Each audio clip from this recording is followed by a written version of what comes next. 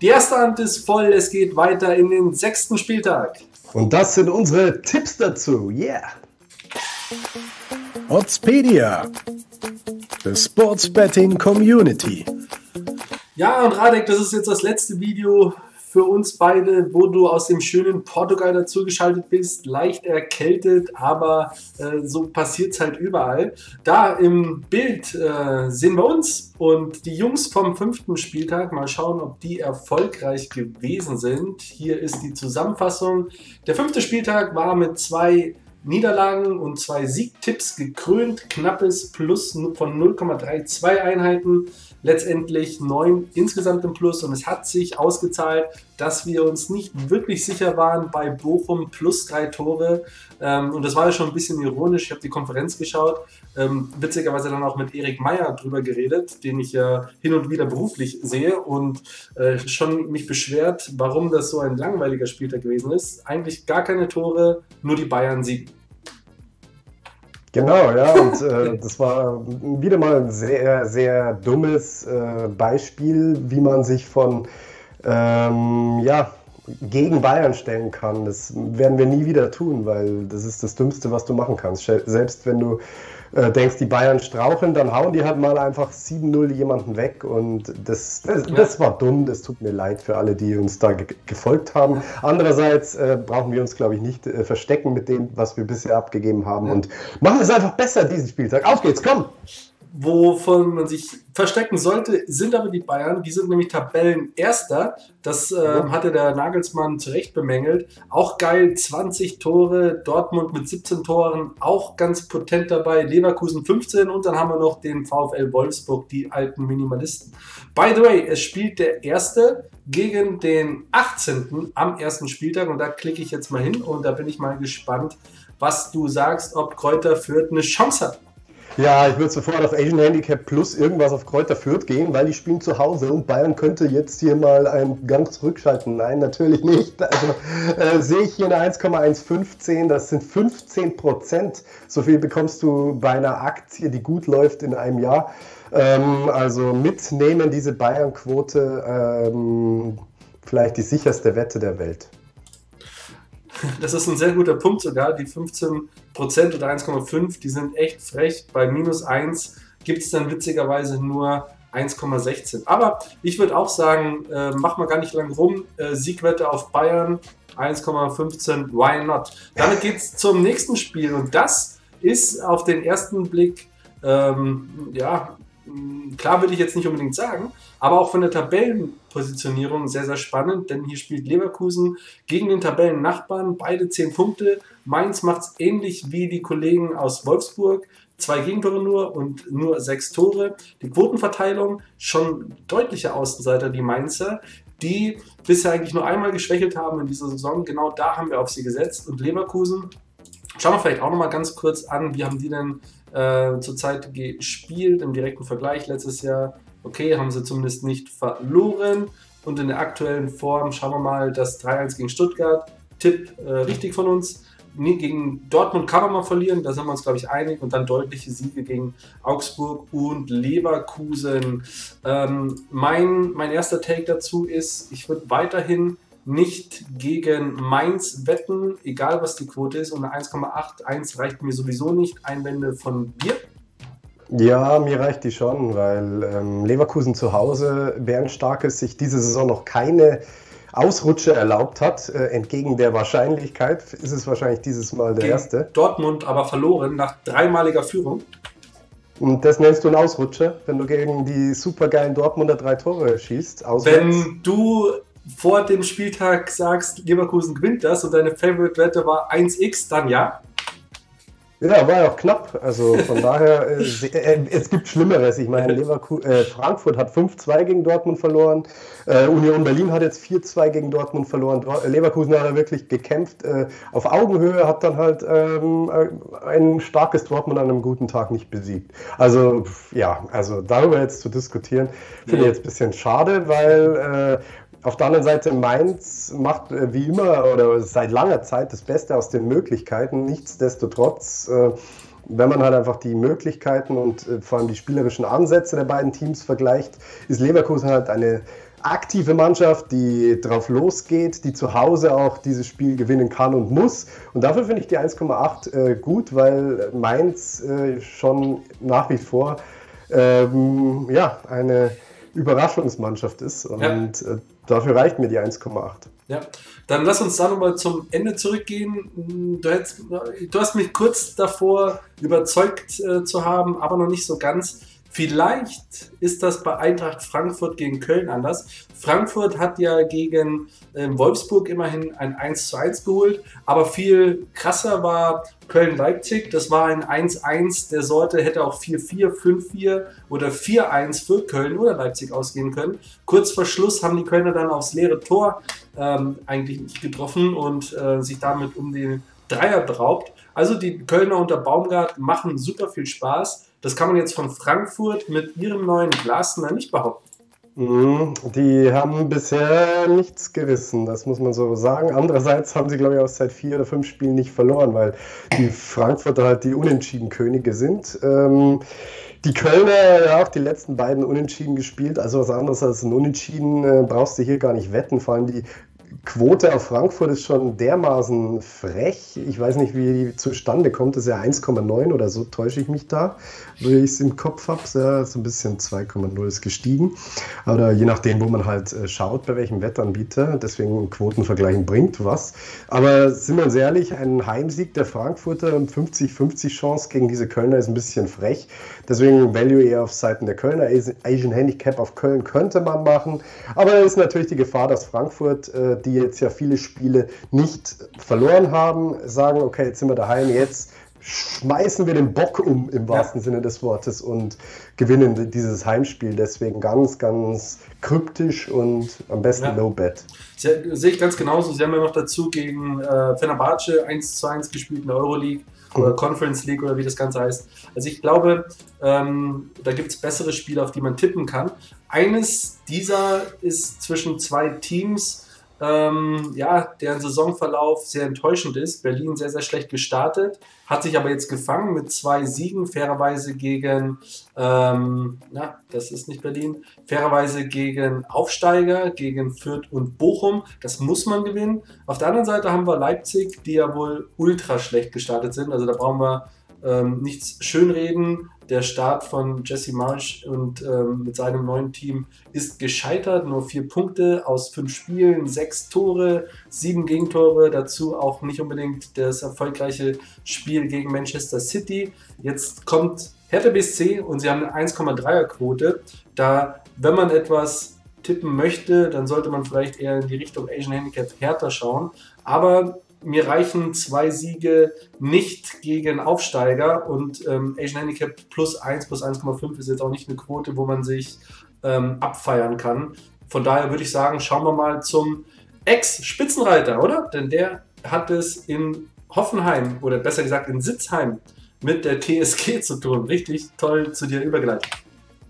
Ja, das ist ebenfalls so ein Spiel, wo du mit dem Unentschieden am besten fährst.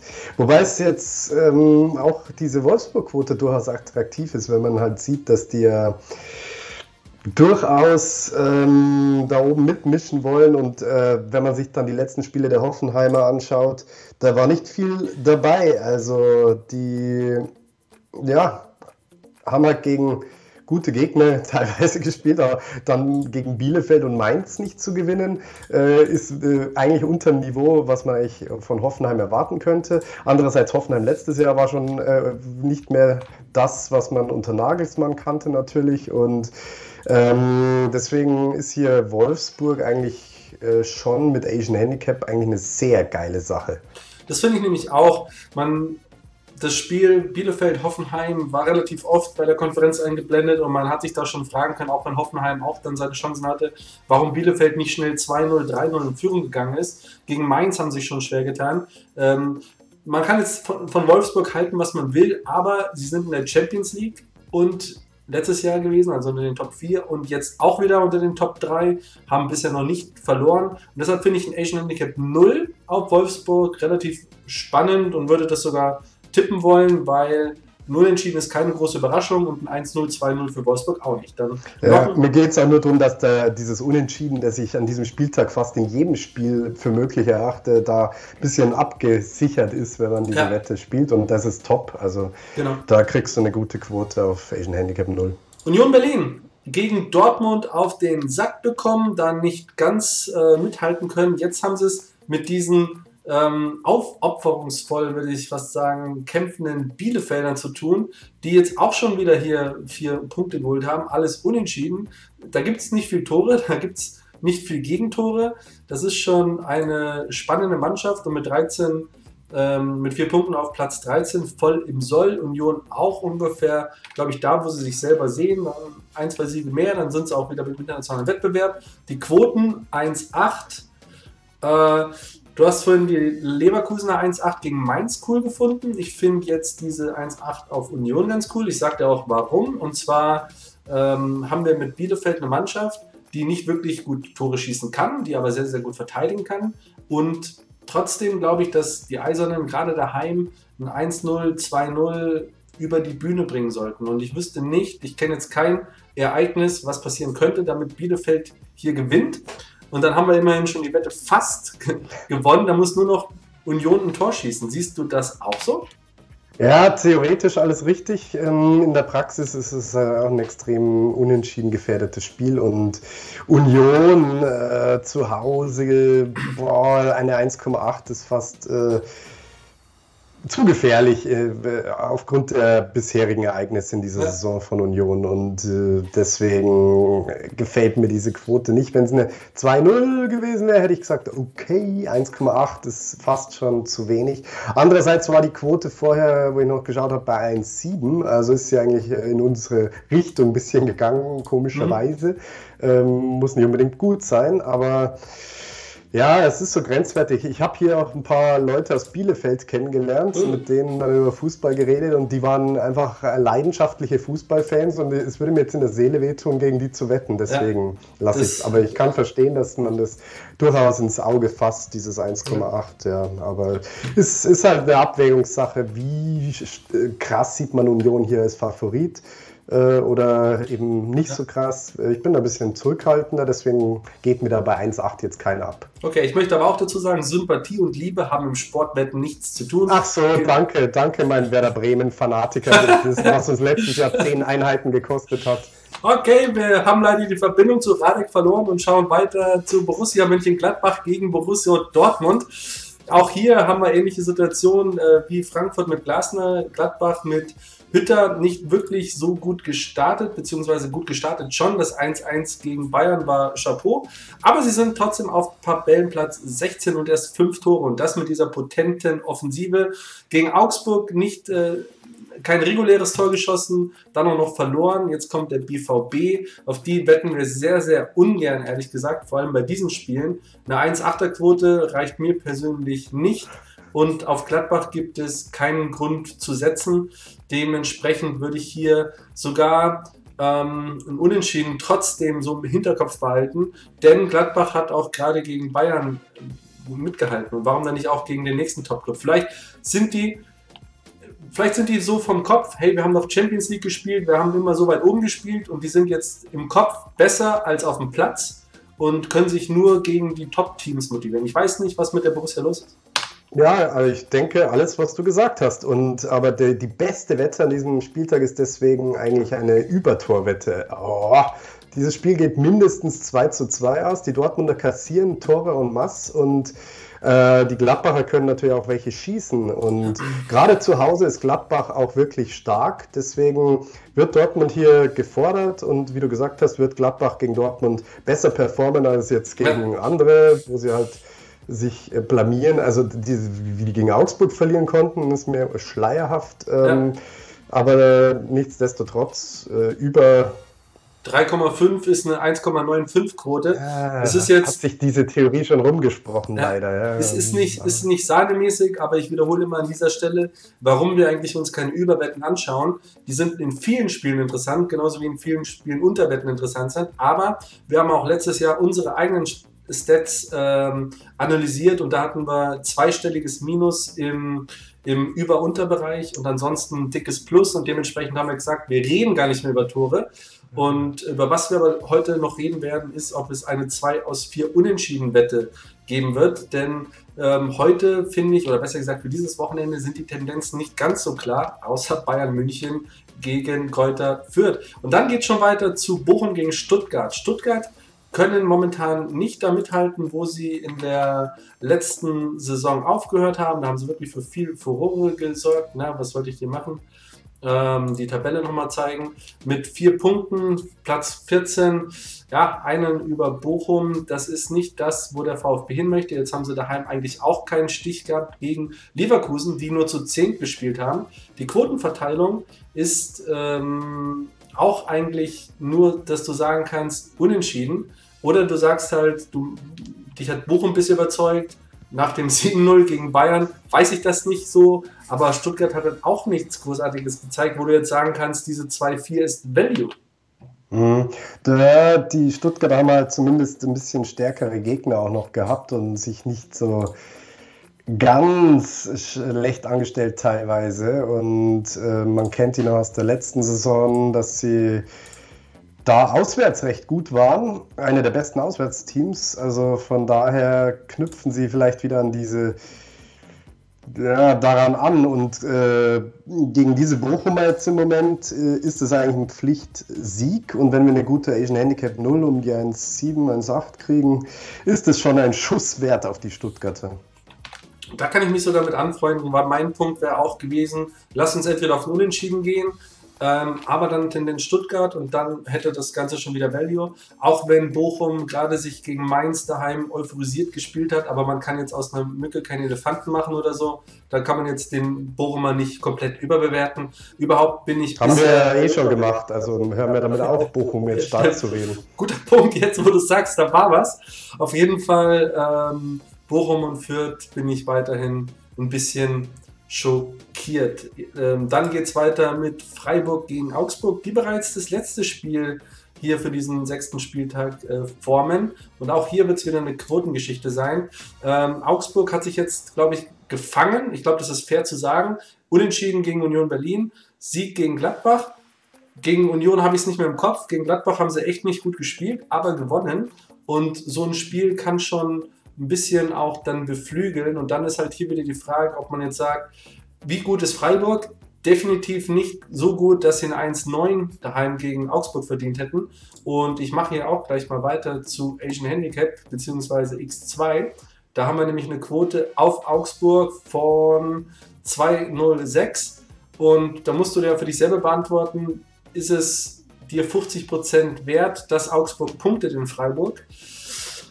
Normalerweise sage ich ja, aber wenn man hier die Finger einfach von lässt, macht man auch nichts falsch, weil ja, Augsburg echt bisher nicht gut performt hat. Ja, und das ist äh, der krasseste Coinflip an diesem Wochenende, wo du eigentlich auf Unentschieden setzen musst, weil äh, Freiburg zu Hause ja sehr stark ist, aber auch äh, in keinem Spiel eigentlich so eine Favoritenquote verdient, äh, ja. weil sie sich halt äh, von Tag zu Tag irgendwie so reinkämpfen müssen und gegen jeden Gegner gewinnen können anscheinend, wie gegen Dortmund, aber auch gegen jeden Gegner ähm, auch verlieren könnten und auch so gegen Augsburg jetzt äh, einfach nicht besser sind in dem ähm, der Konstellation im Moment. Und dann schmeißt du eine Münze, die kommt entweder da oder da auf oder landet auf der Kante, was weiß ich, und dann ähm, hast du drei Optionen und die unentschiedene Option ist hier für mich die attraktivste. Und äh, Augsburg hier stärker zu sehen, liegt mir auch fern. Also wie gesagt, äh, dann entweder Finger weg oder eine Dritteleinheit auf Unentschieden. Ja, dafür hast du dann auch die klassische Unentschiedenquote um die zwischen 3,5 und 4. Also, ich glaube, man merkt seine Länge unseres Videos. Äh, mit den heutigen Spielen, mit den Spielen vom Wochenende sind wir nicht ganz so einverstanden, nicht ganz so euphorisiert. Aber trotzdem machen wir jetzt eine Zusammenfassung und dann bis Moment. Ja, und äh, wir haben noch gerade ein bisschen diskutiert, weil nicht so super zufrieden mit dem Spieltag sind. Aber am Ende haben wir dann uns für diese drei Wetten, die wir gerade eben schon vorgestellt haben, auch in der Runde zu den einzelnen Spielen, ähm, die werden wir anzocken. Und hier die kleine, aber feine Zusammenfassung. Bayern gegen Kräuter Fürth mit dem Sieg für die 1 15. Hört sich scheiße an, finden wir trotzdem überragend. Und dann Asian Handicap auf Wolfsburg. Ähm, Asian Handicap 0, Draw No Bet mit der Quote von 1,8. Und das gleiche machen wir auf den VfB Stuttgart gegen den VfL Bochum. Ähm, Asian Handicap 0 für die Quote 1,75 Stuttgart Sieg. Und dann sind wir schon wieder am Ende. Schauen wir mal. Hä? Und dann lässt er das, was ich noch gerade, wo wir diskutiert haben, Freiburg-Augsburg, das machen wir das unentschieden, das lässt er dann trotzdem unter den Tisch fallen. Und da will ich eine Dritteleinheit drauf. Und, wenn's Und dann hier, ganz am Ende, Freiburg gegen Augsburg, ähm, das X, das hat er mir noch rausgeleiert. Ich finde es ja auch geil. Ich habe ja auch gerade schon gesagt, dass ich auch äh, X2 ganz cool finde, aber dafür gehen wir nicht auf Leverkusen, das nehme ich auf mich, wenn Leverkusen gewinnt und dafür sind wir zusammen wie ein Volksfest am Feiern, wenn Freiburg gegen Augsburg unentschieden spielt. Dritteleinheit, ganz klassisch. Gut, danke für euch, liebe Leute da draußen und danke für ein Like. Ciao. Ciao. Oddspedia. The Sports Betting Community.